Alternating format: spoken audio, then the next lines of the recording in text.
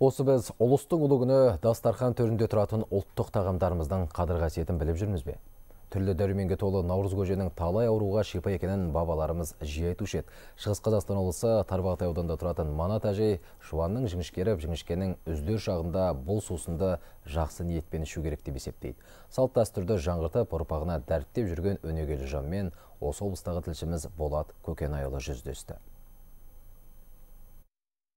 Қажаппа наурыз көше неден жасалады?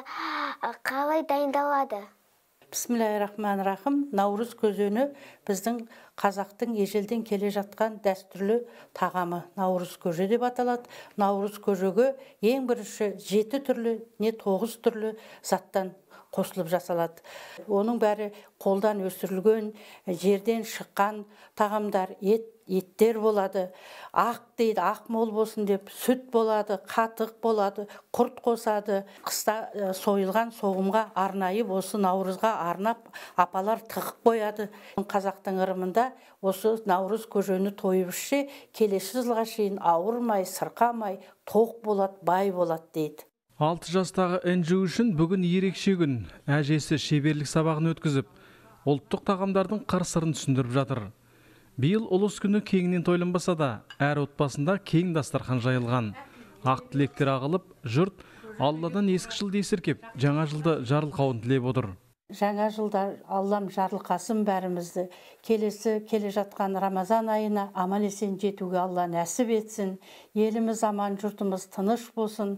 Мынау бір кішкентай болып жатқан сынағымыз аман есен өтіп енді абай атамыздың тойына келесі жылға алла төрт көзімізді түгел аман есен жеткізуге алла нәсіп етсін.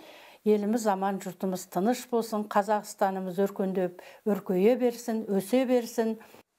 Манат әжей қазіргі төтенше жағдай кезінде ең бастысы үрейге бой алдырмай береке мен бірлікті күшейту керек деп есептейді.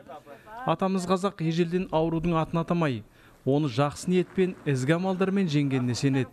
Мейрамда қазір төтенше жағдайларымыз болып жатыр. Қазір өз уақыт болмай жатыр өзімізге де тамақ ішуге. Мына апамыз бізге келіп наурыз көже беріп сыйлап ә, бізді құттықтап жатқанына үлкен үлкен рахмет. Осындай енді елімізге тыныштық берсін.